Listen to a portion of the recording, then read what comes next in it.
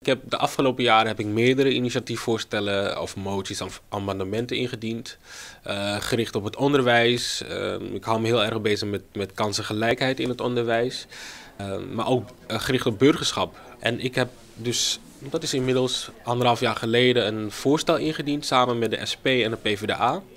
Waar ik best wel, ja, ik ben daar wel trots op, omdat het heel goed ontvangen is in de gemeenteraad in Amsterdam, maar ook wel in de rest van Nederland, om onderzoek te doen naar een slavernijmuseum.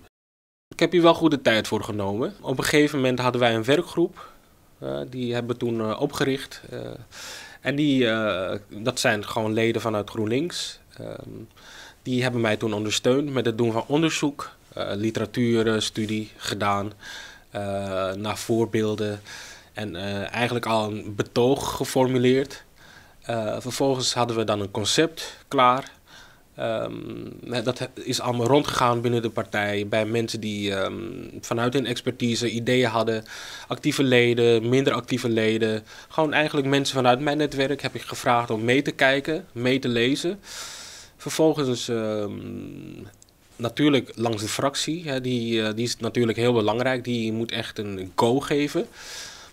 Uh, en met dat concept ben ik toen naar het maatschappelijk middenveld gegaan. Dus dat zijn belangrijke partners in, in de stad en eigenlijk in Nederland die zich bezighouden met, met dit onderwerp. Die zich bezighouden met diversiteit, slavernij, geschiedenis, educatie, uh, racismevraagstukken, noem maar op. En dat heb ik voorgelegd van oké, wat vinden jullie hiervan? Uh, en uh, zij hebben dus input gegeven, kritiek gegeven. En daar ben ik vervolgens mee aan de slag gegaan.